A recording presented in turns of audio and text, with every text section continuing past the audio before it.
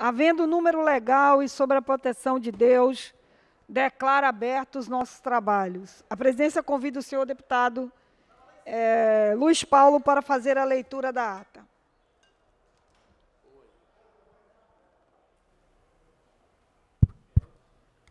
Senhora presidente, deputada Tia Ju, a ata reflete com exatidão o ocorrido na centésima sexagésima oitava sessão extraordinária, que iniciada às 15 horas e 25 minutos, encerrou-se às 17 horas e 5 minutos.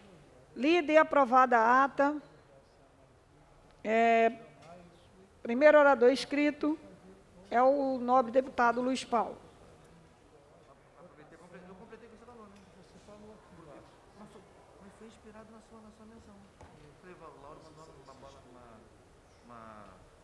Vossa Excelência dispõe de 10 minutos do tempo regimental.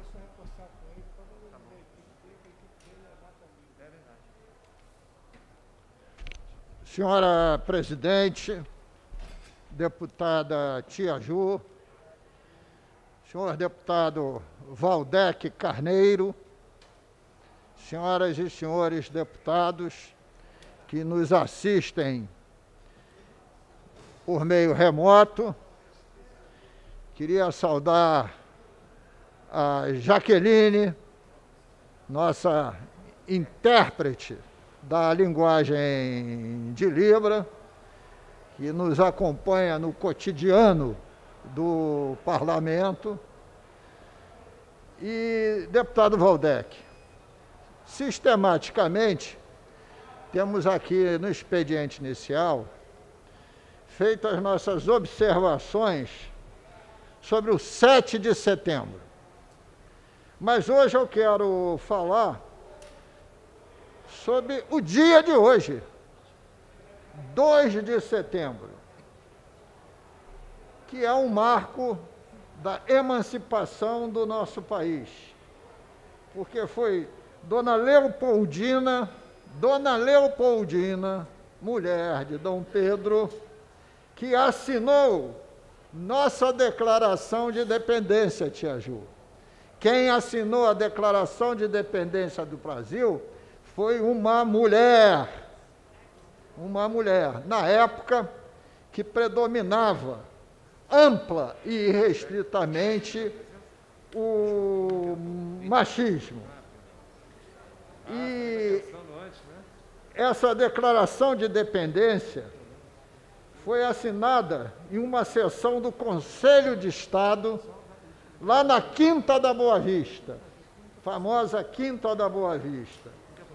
E tem uma pintura muito representativo que pertence ao acervo do Museu Histórico Nacional, feita pela pintora Georgina de Albuquerque.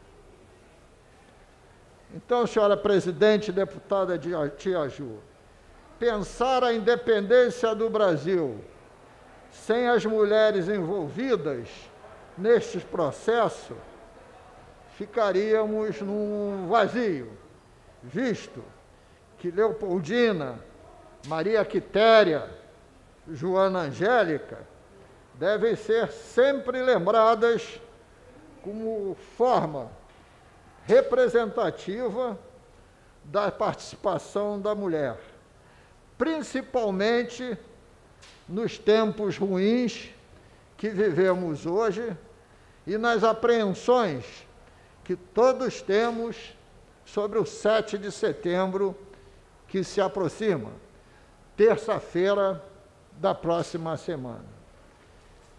E estou dizendo isso, senhora presidente, até porque a revista Época Negócios publicou uma matéria com a seguinte chamada Dia da Independência do Brasil. A mulher que assinou a separação de Portugal e foi a primeira a governar, do, a governar o país. Que foi Carolina Josefa Leopoldina de Hamburgo, Lorena, que nasceu em Viena, na Áustria. Então, tomamos chamando a atenção, porque isso é muito pouco divulgado. Parece que o 7 de setembro foi um ato heróico e exclusivo de Dom Pedro às margens do rio Ipiranga. Então, primeiro chamar a atenção sobre esse fato. E tive o prazer de receber todas essas comunicações do, do Douglas Libório, que trabalha aqui no Parlamento Fluminense.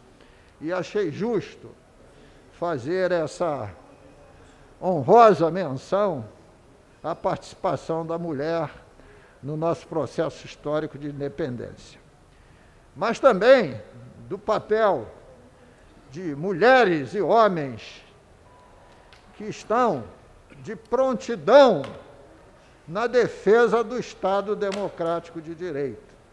Ontem li aqui, deputado Valdec, o manifesto daqueles que estavam nas ruas em 68, na luta contra a ditadura e para restabelecimento do Estado democrático de direito. E entre tantos e tantos, eu fui um deles.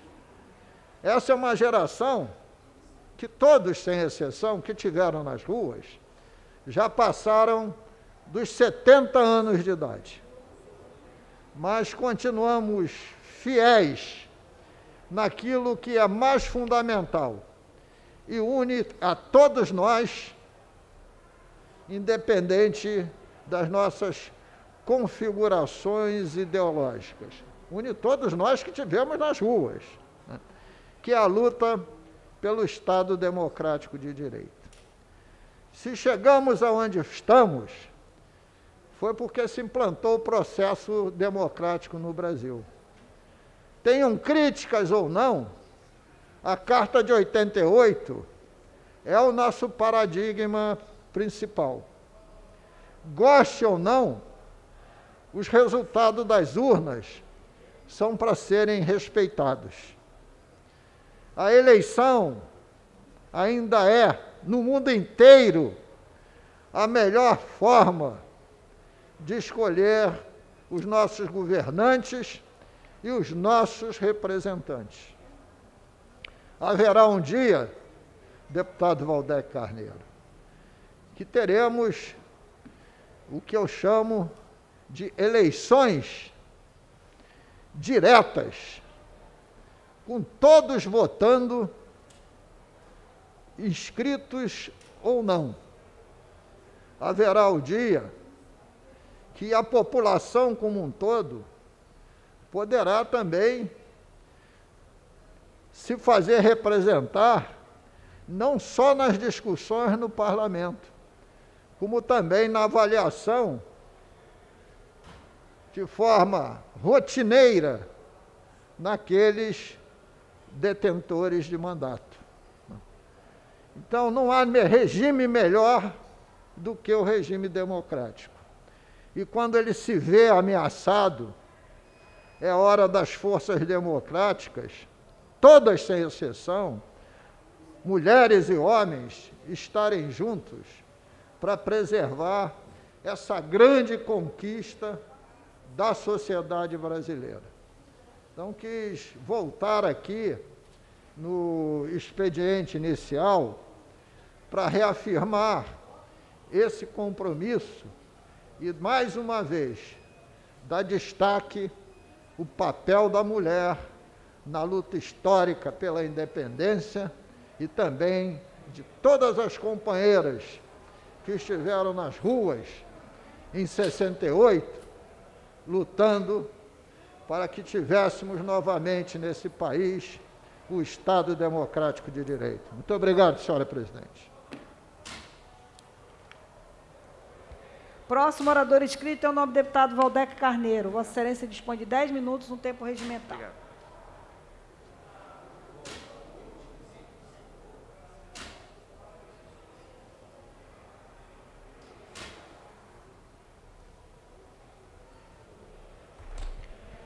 Deputada Tia Ju, que preside o expediente inicial, deputado Luiz Paulo, cidadãos e cidadãs que nos acompanham, nos assistem pela TV Alerj, nos seguem pelas redes sociais, assessoria da mesa, nossa, nosso querido Marquinho, assessorias parlamentares aqui presentes, imprensa, trabalhadores da casa em geral. Eu volto a intervir no expediente final, ou melhor, inicial, é, agora neste plenário, como fiz várias vezes enquanto durou no plenário Barbosa Lima Sobrinho no Palácio Tiradentes, é, para abordar um tema que me parece muito importante, é, no sentido da reafirmação das relações institucionais republicanas que devem ser estabelecidas, deputado Luiz Paulo, por governos de diferentes esferas, mesmo que, mesmo que governos que sejam governos é, dirigidos por partidos diferentes, por grupos políticos diferentes, que tenham visões de mundo diferentes, isso não deve impedir o diálogo e a cooperação institucional em proveito da referência principal de sempre, que deve ser uma coisa chamada interesse público. Interesse público. E faço esta introdução porque chamou a nossa atenção o fato de que o programa Niterói Presente, um programa no campo da segurança pública, fruto de uma colaboração institucional entre a Prefeitura de Niterói e o governo do estado do Rio de Janeiro, totalmente financiado por, por recursos municipais, diferentemente dos outros convênios é, é, congêneres celebrados pelo governo do estado com outros municípios, mas no caso do Niterói presente, ele corre às expensas do orçamento do município de Niterói, é, não foi renovado agora no dia 31 de agosto, como se esperava.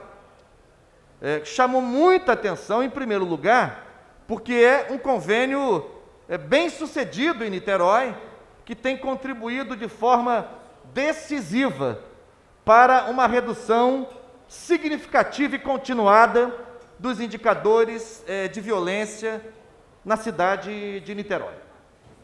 É, a Secretaria de Ordem Pública de Niterói, saúdo aqui o, o secretário é, que comanda a, a, a pasta, o coronel Paulo Henrique, vinha mantendo constantes é, reuniões e tratativas institucionais com a administração pública estadual, com antecedência, fornecendo toda a documentação necessária, produzindo todos os dados e relatos necessários para fundamentar a renovação desta colaboração institucional, não entre partidos, não entre pessoas, mas entre é, administrações públicas de níveis diferentes, mas que têm um objetivo comum, ou deveriam ter, que é enfrentar é, é, o drama é, da violência fortemente presente, infelizmente, na região metropolitana do Rio de Janeiro e o Niterói Presente eh, vinha cumprindo, como eu disse, um papel relevantíssimo no sentido da contenção da violência e da redução dos indicadores em Niterói. Ora, surpreendentemente, essa renovação não aconteceu.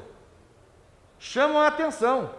Trata-se de um programa totalmente, integralmente custeado pela Prefeitura de Niterói e que representa 20% do efetivo policial na cidade, abrangendo inclusive, alcançando inclusive né, é, é, é, a polícia civil em atuação em Niterói.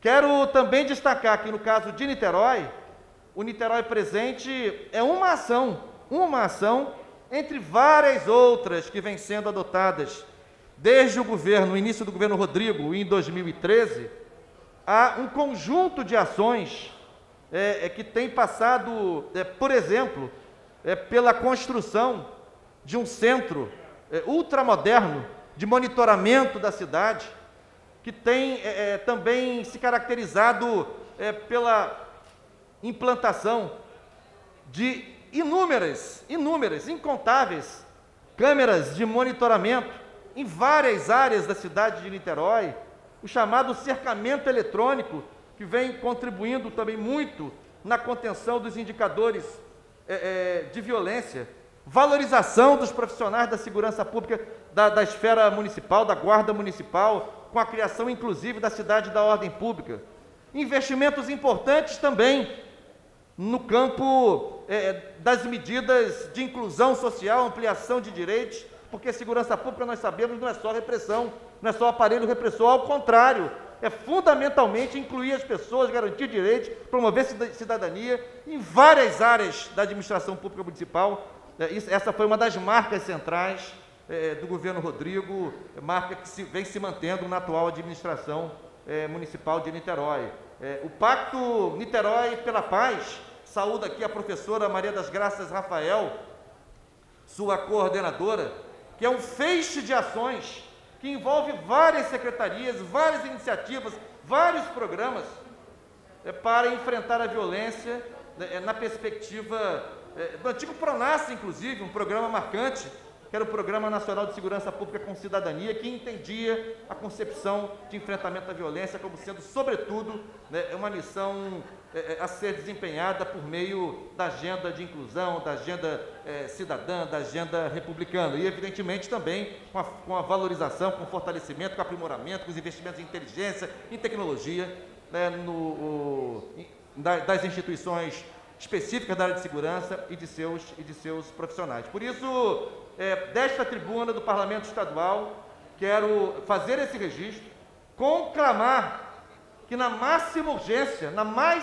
absoluta premência e prioridade, o governador Cláudio Castro celebre né, o ato de renovação do convênio, já prometido inclusive por ele ao próprio prefeito Axel Grael, em reunião recente. E queria também dizer que não acho trivial, não acho banal, não acho nem adequado, muito menos adequado, que eh, deputados ligados ao governo estadual, quaisquer que sejam, é, sejam eles os portadores de anúncios, não é? que vai ser assim, vai ser assado, vai ter renovação, não vai ter, que o uniforme vai ter essa cor, vai ter uma outra cor. Trata-se de um programa institucional. Isso não pode ganhar caráter eleitoreiro.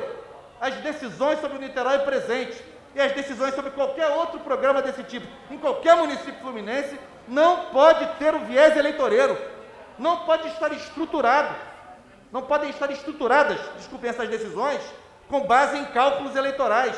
É uma relação da qual depende a população, uma relação institucional da qual depende a população. A população precisa ser atendida, precisa ter respostas, precisa ter tranquilidade de andar nas ruas, de ir ao trabalho, de ir ao médico, de sair para uma, uma, um programa de entretenimento quando isso for possível no contexto da pandemia de levar filhos à escola, ou os adolescentes irem à escola.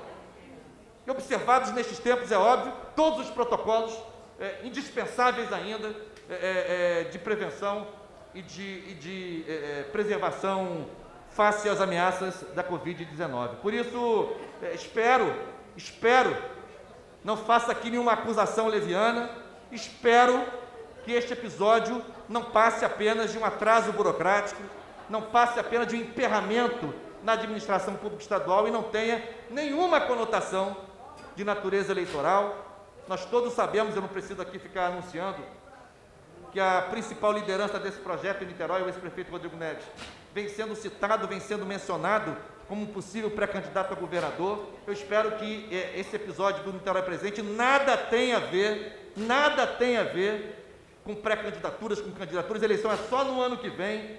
Quem está governando esse ano tem que tratar de governar, tem que tratar de cumprir as suas agendas governamentais, honrar os compromissos firmados, manter os convênios em dia, honrar os pagamentos da, dos servidores e servidoras, cumprir os contratos, dar resposta às demandas sociais.